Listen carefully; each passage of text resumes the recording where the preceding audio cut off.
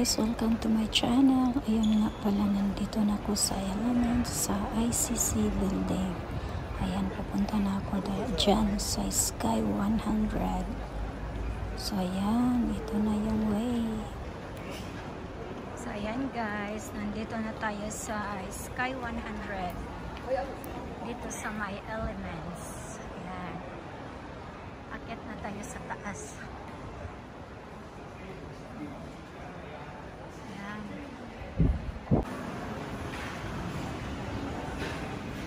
Diretso na ako kasi may ticket na ako eh.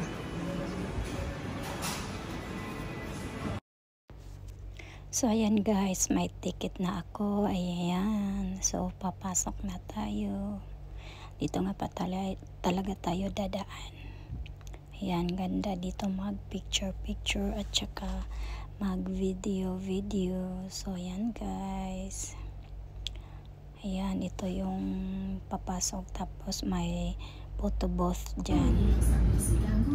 So, ayan, nandito na ako sa loob ng elevator.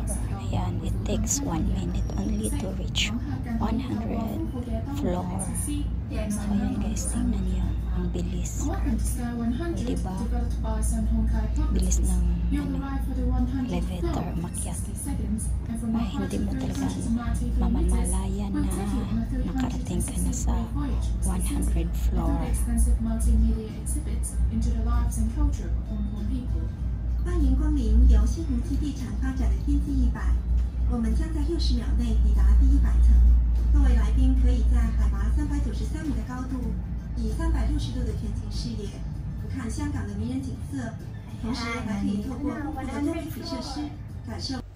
So, ayan, nandito na tayo sa 100 floor, guys. Tapos, ito nga pala yung, ano, yung display nila sa ilalim ng sahig. Ayan. Ito yun din yung mga building na makikita natin. So, nilagay din nila dyan sa sahig. So, ayan, welcome to Sky 100 Orbi- Observation Deck. Ayan, ang ganda. Ayan ang makikita sa baba guys. Ganyan lang. Makikita mo lahat. Buong Hong Kong talaga ang makikita nyo. Ayan. Ito pala yung sa baba ko. Yan. Yung view na yan isang Chim Sa Choy. Yan. Buong Chim Sa Choy yan. Makikita nyo. Yan. Yung harbor side. Yan. Harbor Ferry. Nandyan din. Yung papuntang Macau. Nandyan din banda. Tapos sa kabilang isla, yan naman ang Hong Kong Island. Makikita mo lahat na building dyan. Ayan. Dyan, yan ang Hong Kong guys. Dami kasi makikita dyan. So ayan, kunti lang ang tao ngayon. Tapos dito naman tayo sa kabila guys para makikita nyo yung view. Ayan. Ito nga pala yung makikita mo lahat na buong Hong Kong na talaga. Ayan. May nakapangalan yan. Anong klaseng building ang makikita nyo yan. May mga pangalan. Kung anong makikita nyo sa baba, yun din yun yan. Hmm, galing no? Paano nila na ano nakukuha lahat. Pero ang ganda tingnan guys, lalo na pag summer. Gandang-gandang ng view dito pag summertime kasi Ayan, kasi autumn na siya. So, foggy siya tingnan. At saka paggabi na din, ganyan ang view. Wala pa masyadong ilaw sa gabi. Maganda dito magtambay guys. Lalo na pag may kasama ka. Ayan, manood ka lang ng view. Ayan, relax. Nakaka-relax sa mata at sa isip. Ayan, ito naman yung sa baba. Ito naman yung tunnel papunta sa kabilang isla. Dadaan dyan yung mga sasakyan. So, ayan na naman dito. Ito naman banda yung ano, Kennedy Town, Shongwan, tapos Central. Ayan, yung mataas na building na yan. Yan, yan yung IFC, second largest, tallest building in Hong Kong. Ito kasi yung pinuntan ko, ang ICC. Ito yung pinaka-tallest na building. Siguro 128th floor yata to. Yun lang ang ano ko. Tapos yun, yun ang tunnel na sinasabi ko guys. Yan, dumadaan ang mga sasakyan dyan. Yan, papasok dyan. So under the sea na yan siya. Yan tunnel. Lusot na yan sa kabilang isla. Yan, doon sa may Kennedy Town. Diba ang galing? Ayan, ito yung building. Ayan, tingnan nyo guys. Taas, diba? Hindi ko, hindi ko ma-videohan lahat. Ayan, makikita ang buong Hong Kong talaga dito. Ayan, may enjoy mo yung view. Tapos doon sa dulo makikita din yung the peak. So, ayan. Sarap manood dito guys. Pero kung takot ka sa heights, ayan, parang matatakot ka din. Ayan, punta naman tayo dito sa may bandang kabila. Ayan, mas malapit na tayo dito sa may tunnel. So, ayan guys, i-enjoy nyo lang ang panood ng video ko para para na din na nakapunta kayo dito. So, ayan, yan ang dagat. Marang ferry na dumaraan dito. Ayan, tapos ito naman yung ano nila, yung souvenir shop. May mga tinda din sila na t-shirt, tsaka kung mga ano-ano pa, ayan. May mga laruan. Para sa bata, ayan. May mga tram, train, ayan. Ito naman yung parang Lego. Iba yung pangalan niya eh. Yung kahoy na, ay ano mo yun. Ito na kasi ang uso ngayon, ayan. Mas mahal pa nga to sa Lego eh. Yan, kahoy yan siya made of wood ayan anong pangalan nga niya lang nakalimutan ko yung pangalan ayan dami nilang tinda guys ayan dito na naman tayo banda ayan may isla dyan yung yung open sea na dyan banda yan yung mga daanan papuntang isla Ayan, ito nga pala o oh, mas malapit. Nakikita nyo yung mga sasakyan talaga. Tapos yung ferry, ayan. Yun, dyan ang dada daanan ng mga ano, ferry, yung papuntang isla. So, ayan siya. Kung gusto nyo mag, ano, paggawa ng coins. So, ayan. Dyan, ayan. $28 lang yung magpagawa or souvenir. Souvenir coins. So, ito yung design niya, guys. Ayan, ito naman postcard. Ayan, ganda ng postcard niya. So, ayan. Da, maano ka dito, ma-amaze kasi marami silang mga display-display. Ito naman yung photo vote. Yung mapapicture ka sa baba. Diyan mo kukunin. So, ayan guys. Ito na yung ano.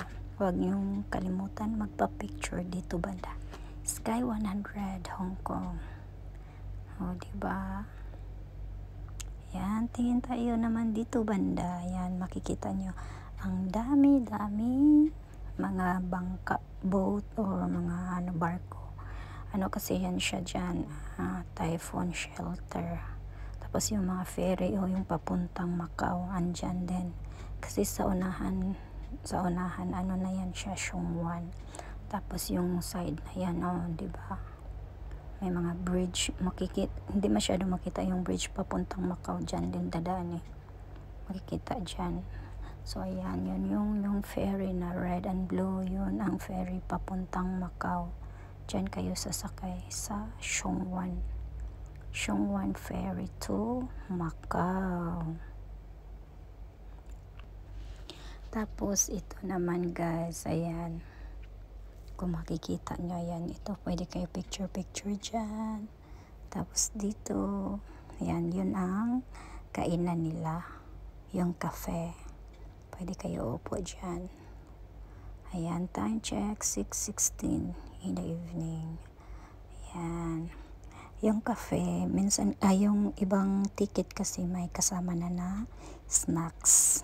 Yung food and drinks may kasama na. Pero yung pwede din entrance lang entrance fee. Pero pag birthday nyo din libre pag birthday. May kasama ka na isa tapos ang bayad is 103 lang makasave kayo dito. Pero hindi kasama yung drinks. So, ayan. Dito naman tayo banda. Kowloon. Kowloon side na yan eh. So, ayan. Daan tayo dito sa ano nila. Yung ano pala nila, snacks. Galing pala sa ano siya. Ritz-Carlton Hotel. Ayan. Sa itas, sa itas kasi nito na building, parang nakalimutan ko na floor 112 floor yata. Nandyan yung Ritz-Carlton Hotel. Pero sa kabilang side ng building, ay, oo, kadadaan, hindi dito same building. Hindi dito na entrance yung pinapasukan natin. So, ayan guys, ang sasarap ng snacks nila. May drinks, may mga snacks pag bibili ka, ka kasi ng ticket, pipili ka ng pagkain mo. Tapos may free free drinks at saka ano na siya, food. Pero mas okay din kung wala. Ayan, sarap dito magtambay. Mag-chill-chill at saka picture-picture. Opo-opo at saka manood ng view. Ayan, ito naman yung buong Kowloon side. Ayan Ibang dami-daming building. Ito kasi yung mga building guys. Eh, dito nakatira yung mga tao. Wala sila masyado yung houses. Flats lang talaga dito. Yung condo, condominium sa ating tawag na nila dito is flats. Mga building lang kasi. So ayan, ito na yung buong Kowloon. Makikita mo na yan dyan. O, oh, diba? Daming building, daming hotels. Yan. Ito naman sa baba is ano, yung elements. Dito ako banda yung first amo ko. Diyan ako nakatira. Tapos ayan, i-video-video din natin to. Yan ang makikita pag may ano siya fireworks dito. Maganda dito manood kasi makikita mo talaga ang buong fireworks. Kasi sa baba dyan, ang Chimsachoy dyan, usually ang ano ng fireworks kasi. Sa gitna kasi ng dagat yung ano paputok so yan guys. Oh di ba sobrang laki. Yan kaulon. Buong kaulon na to. Makikita diyan yung sa Mayaw Mati Mongkok Prince Edward yan. Kolontong at saka yung sa Yunlong dyan banda. Makikita. So ito nga pala yung mapa naman dito bandang Kaulon. So, ayan guys, makikita nyo dito clearly yung mga pangalan ng building at saka mga hotels. So, ayan. Sobrang klaro dito, tingnan. Clear na clear yung pagkakuha nila sa ano, yung paggawa ng mapa. Ayan. So, ayan guys. Thank you for watching. Don't forget to like, comment, share, and click the notification bell so that you will notify for my next video. Bye!